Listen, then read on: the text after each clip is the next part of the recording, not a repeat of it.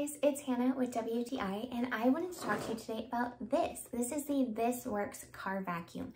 Now I was in the market for something that was portable, that was easy to use, that wasn't too heavy, but that would keep my car clean.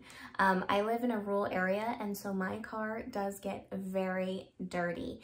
And so when I got this, I was so excited. I could not wait to use it. Now, a few of the things that I love is that this is definitely gonna be your one-stop shop. So it comes with three different attachments, as you can see here. Um, you have your hose, you have your flathead nozzle, as well as a brush. Now, another thing that I like is they included an extra filter that goes in here that catches all the dust and debris, um, as well as a little cleaning brush so you can make sure and keep your filter in tip-top shape.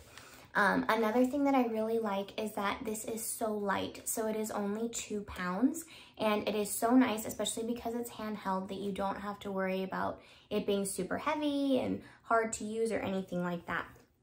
Um, another thing to note is that the cord is 16 feet long. So I have a Camry and I did not have to worry at all reaching the front to the back to the mats, anything like that. I did not have to worry about the cord or getting caught on things or anything like that.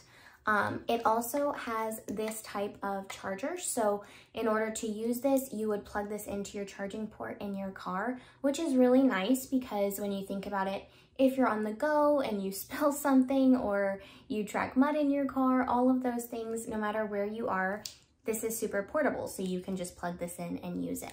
Um, another thing that I like is that it even comes with a carrying case so you can fit all your attachments as well as the vacuum, your cleaner, everything, and you're good to go. So if you are looking for a really nice, good quality, durable car vacuum that is super quiet and easy to use, this is definitely gonna be for you. And that is my point of view.